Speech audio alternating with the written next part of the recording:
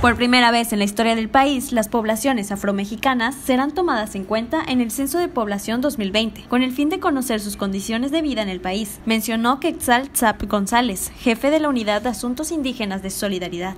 Otra de las cosas que también es muy importante en México y que por primera vez está pasando, por primera vez está pasando, es el censo a los afrodescendientes. Nunca en México había sido un censado esta población en México que ha sido invisibilizada todos estos años.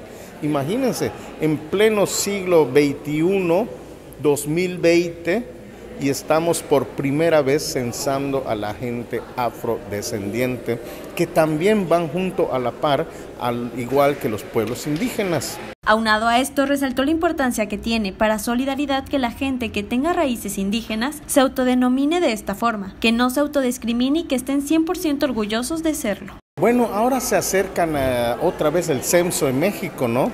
Y para nosotros y en todo el país es importante que eh, nos autodenominemos y que no nos autodiscriminemos, que digamos orgullosamente soy indígena, ¿no? Eso es muy importante también eh, en México y ahora tenemos una puerta abierta en la cual podemos aprovechar para la autodeterminación de autonominarse indígena, orgullosamente indígena.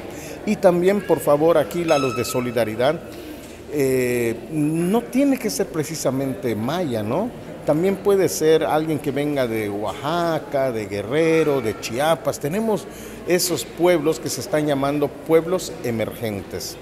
Y bajo esa denominación de pueblos emergentes, la autodenominación es muy, muy importante.